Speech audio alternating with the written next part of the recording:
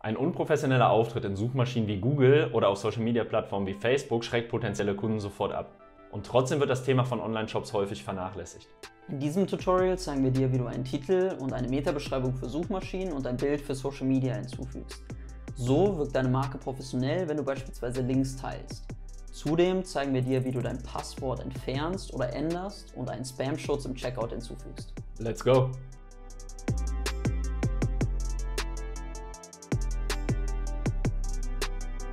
Wir befinden uns hier wieder im Shopify Admin Bereich. Und um jetzt zu den Konfigurationen zu kommen, klickst du links auf Online Shop und dann unten auf Konfiguration. Und wie du siehst, existieren hier relativ viele Einstellungsmöglichkeiten. Wir gehen einfach Step by Step von oben nach unten durch. Und wir starten ganz oben beim Thema Titel und Mieterbeschreibung. Und das ist direkt ein sehr wichtiges Thema, weil das bestimmt, wie dein Shop in den Suchmaschinen angezeigt wird. Damit wir jetzt nicht lange rumüberlegen, was wir bei Titel und Mieterbeschreibung eintickern, habe ich das mal vorbereitet und kopiere das rüber.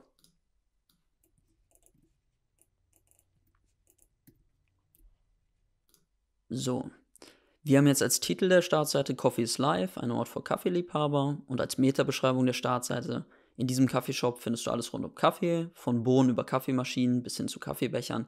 Hier ist für jeden Kaffeeliebhaber etwas dabei. Worauf du achten solltest, wenn du diese Metabeschreibung und den Titel verfasst, pack die wichtigsten Keywords da rein. Wir haben jetzt hier beispielsweise Kaffeeshop, wir haben Bohnen, Kaffeemaschinen, Kaffeebecher, Kaffeeliebhaber mit dabei und wir haben natürlich unser Brand-Keyword Coffee is Life im Titel. Als nächstes gehen wir hin und fügen ein Social Sharing Bild ein.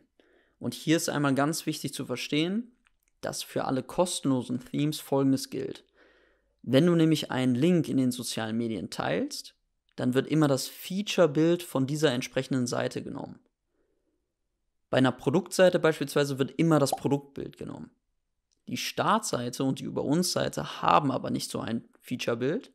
Und in den Fällen wird dann immer auf dieses Social Sharing Bild zurückgegriffen, was du hier hinterlegst. Und das machen wir an dieser Stelle auch. Fügen ein Bild hinzu. Hier oben haben wir das vorbereitet, Social Media Bild hinzufügen. Achtet auf jeden Fall nochmal drauf. Shopify hat hier eine empfohlene Größe angegeben von 1000 x 628 Pixel. Haltet euch auf jeden Fall dran, weil nur so wird euer Bild in den sozialen Medien auch ganz gut und sauber angezeigt. Als nächstes haben wir die beiden Punkte Google Analytics und Facebook Pixel. Das ist nochmal ein sehr umfangreiches Thema, deswegen haben wir gesagt, wir machen da nochmal ein separates Tutorial zu. Das verlinken wir euch oben in der Ecke. Als nächstes haben wir das Thema Passwortschutz. Ihr habt das ja gemerkt, von Anfang an ist euer Shop erstmal passwortgeschützt. Das heißt, Leute, die auf eure Domain kommen, die kommen in euren Shop gar nicht rein, wenn sie das Passwort nicht haben. An dieser Stelle kannst du jetzt hingehen und kannst das Passwort entweder deaktivieren. Das würdest du dann machen, wenn du bereit bist und deinen Shop live stellen willst. Oder du kannst dein Passwort ändern. Eine weitere Sache, die du hier machen kannst, ist, dass du noch eine Nachricht für deine Besucher hinterlegen kannst. Die wird dann auf deiner Passwortseite angezeigt. Wir befinden uns ja jetzt gerade noch im Aufbau von dem ganzen Shop, deswegen belassen wir es erstmal dabei. Das Passwort bleibt aktiviert und eine Nachricht an die Besucher brauchen wir auch nicht.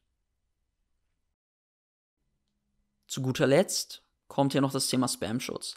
Hier kannst du hingehen und Google Recapture für den Checkout aktivieren. Jetzt fragen sich vielleicht einige unter euch, was ist das überhaupt, dieses Google Recapture? Und das ist relativ easy erklärt. Also es ist einfach ein Service von Google, der deinen Shop vor Spam und Missbrauch schützt. Und ihr kennt das vielleicht, wenn ihr selbst online schon mal unterwegs wart, in Online-Stores oder teilweise ist das auch in Foren der Fall dann müsst ihr, bevor ihr irgendeine Aktion durchführen könnt, müsst ihr sagen, ich bin kein Roboter. Das müsst ihr dann anklicken. Das ist so dass die einfachste Form vom Google Recapture. Teilweise ist es dann auch noch so, dass dann so Kacheln erscheinen und ihr müsst sagen, in den Kacheln, wo befinden sich da Autos oder wo befinden sich da Ampeln. Und das sind so Mini-Rätsel, so würde ich es jetzt einfach mal nennen, die sind für einen Menschen sehr, sehr einfach zu lösen. Für einen Bot oder auch für schadhafte Software ist das allerdings nahezu unmöglich, sowas zu lösen. Und deswegen wird dadurch verhindert, dass Bots oder Schadsoftware bei euch überhaupt irgendwas anstellen können im Checkout. Wir empfehlen euch, lasst es erstmal deaktiviert, weil es ist natürlich für normale User ist es ein bisschen nervig, das noch zu machen. Und das anklicken zu müssen, ist einfach ein weiterer Klick, der die Leute davon abhält, wirklich am Ende auf Jetzt kaufen zu klicken. Wenn ihr wirklich merkt, dass ihr Probleme habt mit Bot-Traffic bei euch im Checkout, dann geht auf jeden Fall hin und aktiviert das nochmal. Soweit haben wir dann jetzt alles gemacht. Wir klicken jetzt oben auf Speichern und haben damit die kompletten Einstellungen einmal gesichert. Wir hoffen, dir hat das Video geholfen. Falls du noch offene Fragen hast, stell sie einfach unten in den Kommentaren. Und wie immer am Ende von YouTube-Videos, liken, Channel abonnieren, weiterempfehlen. Vielen Dank und bis zum nächsten Mal. Ciao. Ciao.